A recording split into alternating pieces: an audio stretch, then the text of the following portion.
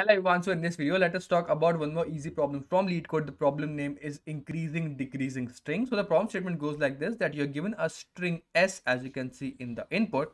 Now you have to reorder the string according to the given algorithm. Now what you'll do is that you will first pick the smallest character from S and append to the result. Result is the final string that you have to form. Okay. Now you will first check, like you will first choose the very smallest character. Smallest means that if like the characters are from like you can say like ASCII order. So A, B, C, D, all of them are small only. And you just have to choose out the very smallest character, okay, from the whole string and just put it append in the very first position in the result.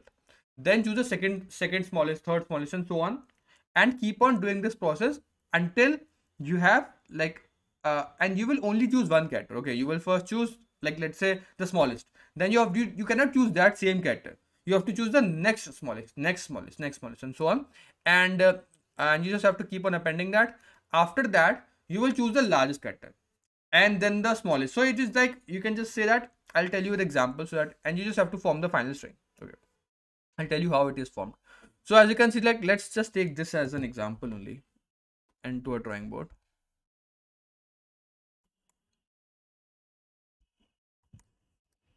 Let's go to a drawing board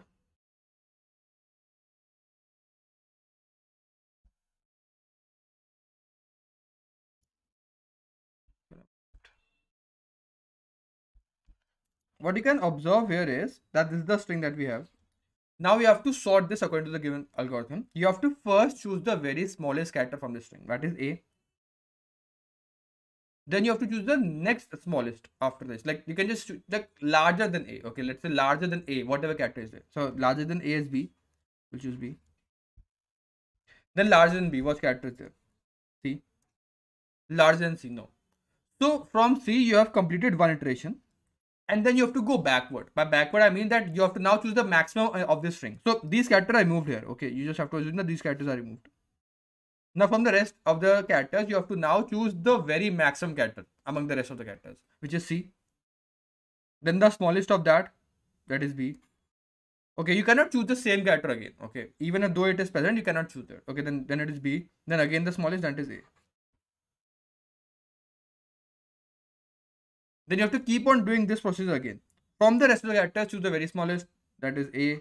Then the bigger of that, that is B. Bigger of that, that is C. And again, C, then B, then A. And that's the final answer. Okay, that's the overall thing that you have to do. You have to just keep on like uh, forming a string such that you just have to take out how many characters are there. From that, choose those very smallest, then the greater than that, greater than the greater than that, till you cannot take any greater and then from the greater to the smallest again. So it's like increasing decreasing type of problem.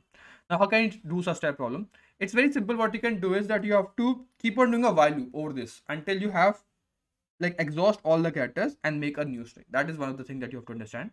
Now how can you make this string? You have to first understand that there should be an order. Like you have to somehow sort them.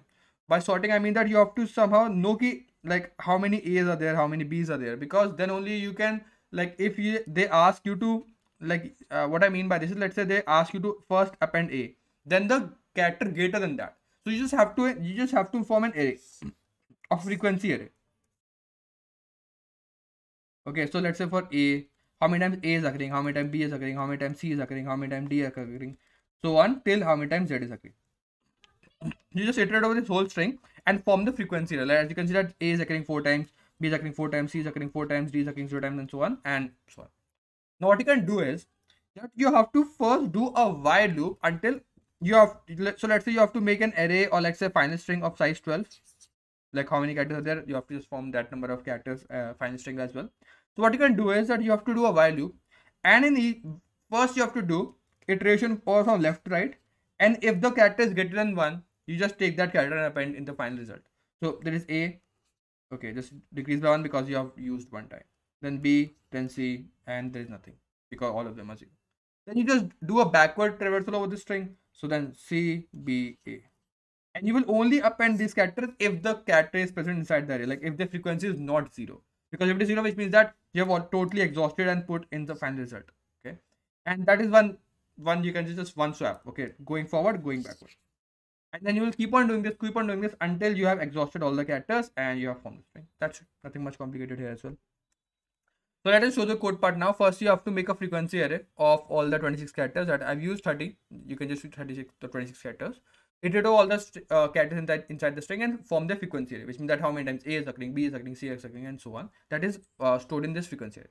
Now you will do it, you will do this while loop over this n. n means how many characters you have to like n is the length of the string. So you have to do a while loop such that total number of characters that I have in the string should be appended in the result that I am forming. Result is the answer that I've uh, used here. Okay. So first you have to do a traverse from left to right and then from right right to left. So left to right is the traverse from 0 till 26 characters from 0 to 26. And if the frequency of that character exists, which means that that particular character is still not exhausted and result in the result, I will take that particular character, insert it in the answer that I'm building, decrease that frequency from the frequency array as well as from uh, n because now I've used one character so I should not be like this while loop will only stop when I've exhausted all the characters like uh, from the answer uh, from the string s to the answer. Okay that's why this this is also required to uh, reduce. And then when I move from left to right then I have to go from right to left as well. That is from just back to uh, back to front traversal the same code.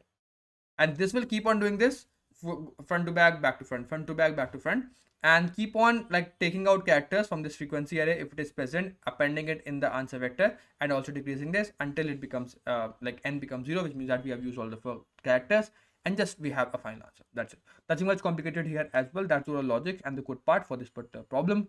If you have any doubts you can mention in the comment box of this particular video. I will see you in the next one coding and bye